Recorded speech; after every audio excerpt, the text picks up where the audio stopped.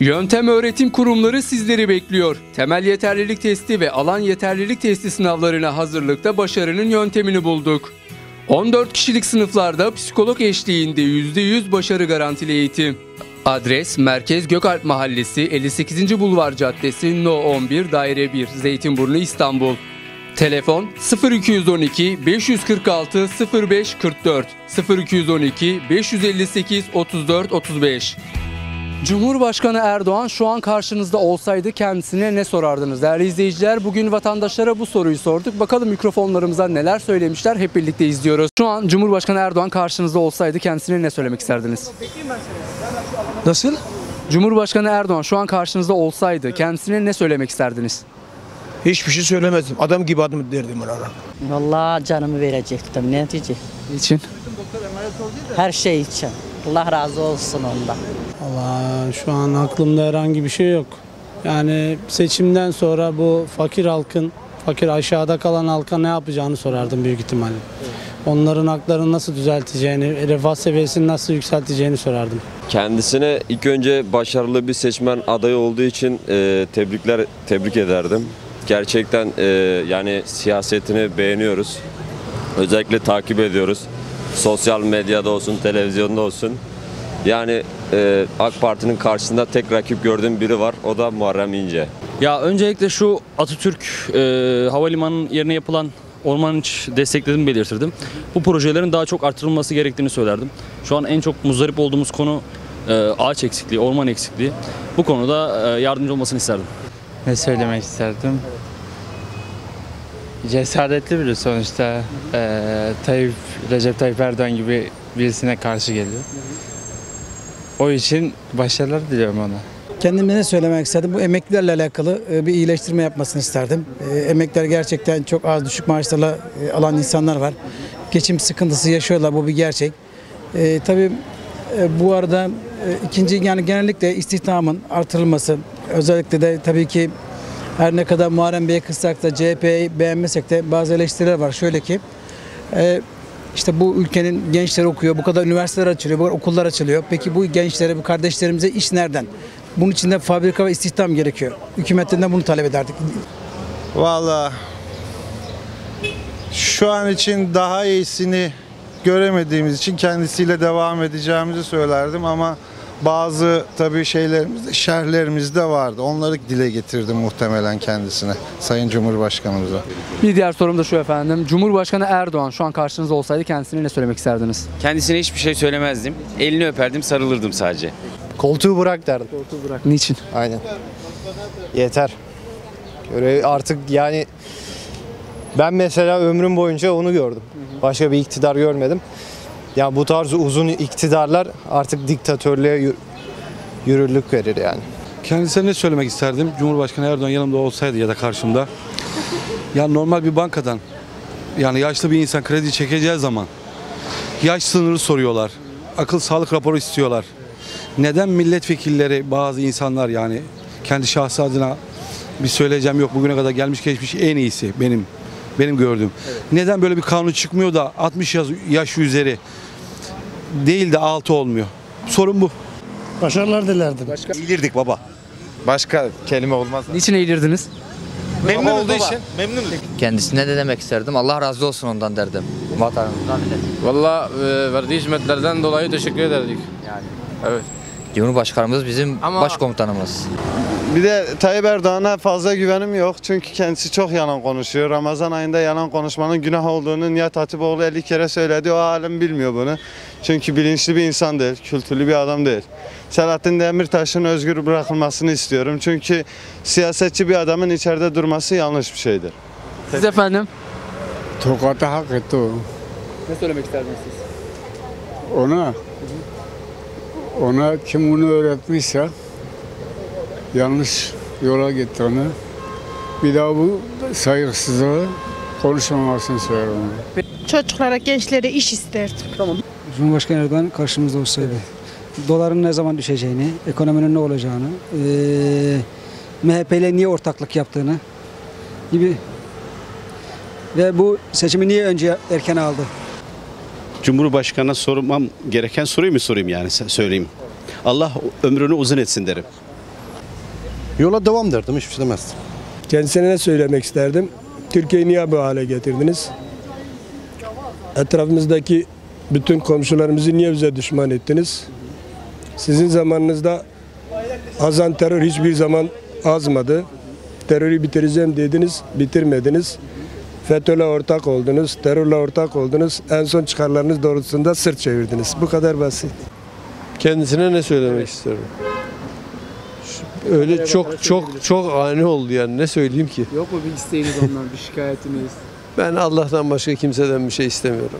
Öncelikle kendisinin eee, ülkemize ve devletimize katkı sağladığı şeylerden dolayı kendisine teşekkür ederdim. Ayrıca eee, bundan sonra da eee, katmaya devam edeceği şeyleri eee, görüşmek isterdim.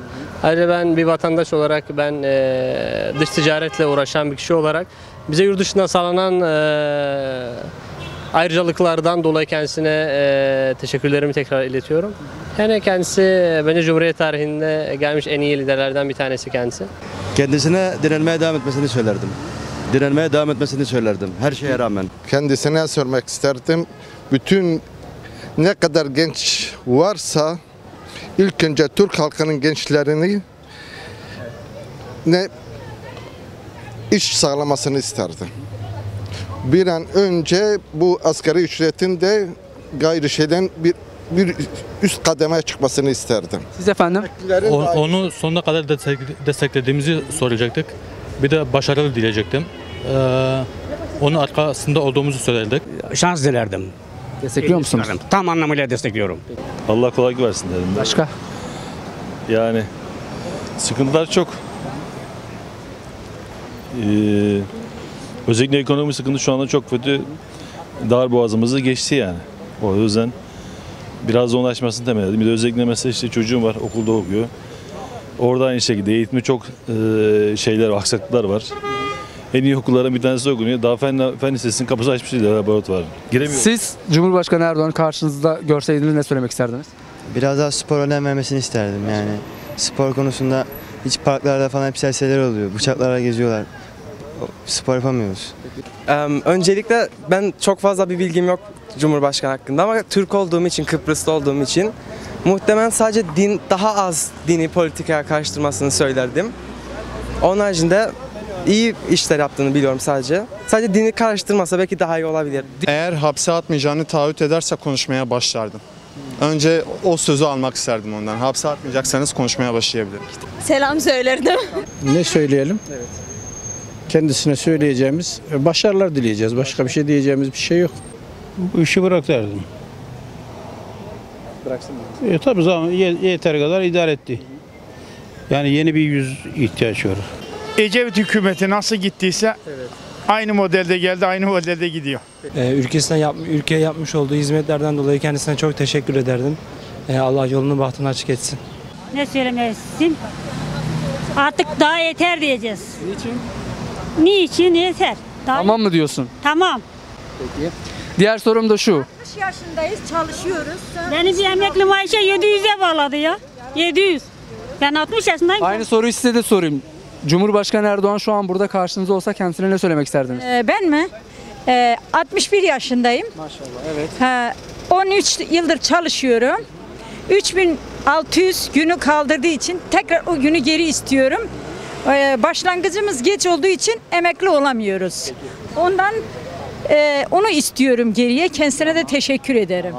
Adamsın derdim. Seni çok seviyoruz derdik. Ne söylemek isterdim onu çok seviyoruz. İstanbul için ve Türkiye için destekliyorum. Her şey yapmış. Allah razı olsun ondan. Başka bir şey demiyorum. Ne bileyim öperdim onu ya yanaklarından öperdim onu. Çok mu seviyorsunuz? Evet. Onu çok sevdim ben. Bu kadar yeterli.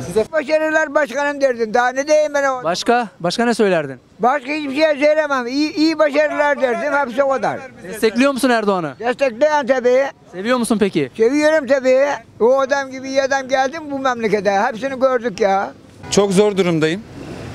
İşçiyim. iki tane çocuğum var. Çocuklarıma bakamıyorum. Kiramı ödeyemiyorum. Asgari ücretle geçim olmuyor. Geçinebilen varsa, şeklini bilen varsa gelsin göstersin geçinelim diye söylerdim. Destekliyor musun? Tanıyorum birebir. Çok değerli bir insan. Taraftar olduğum için değil. Gerçekten saygı duyulacak bir insandır o. Valla çok şey söylemek isterdik. İlk ve hizmetlerinden dolayı Allah razı olsun derdik ama eee, yani eee, sıkıntıları da görmesi lazım, bilmesi lazım. Büyük bir sıkıntı var memlekette. Ekonomik sıkıntı var. Her, yani bir şey söylemeye gerek yok. Her taraf şey eee, ödemiyor kimse borcunu. Öyle söyleyeyim. Büyük bir sıkıntı var yani bunu ben söylemiyorum. Herkes söylüyor. İnşallah düzelir diyoruz. Kendisi söylemek istedim inşallah seçilmesini isterim yani onu söylemek isterdim. Efendim? Desteklerim evet. Türkiye'nin lideri derdim. Ve dünyanın lideri derdim. Ve şimdi de onun yaptığını hiçbir devlet başkanına yapmadı. Teşekkürler çok sağ ol. Ülkenin iyiliğini tabii ki de istiyorum da hani yaptıkları belli, yapacakları belli. Seçimden sonra gör- göreceğiz yani. Destekliyor musun? Destekliyorum ama oy verip vermemekte kararsızım.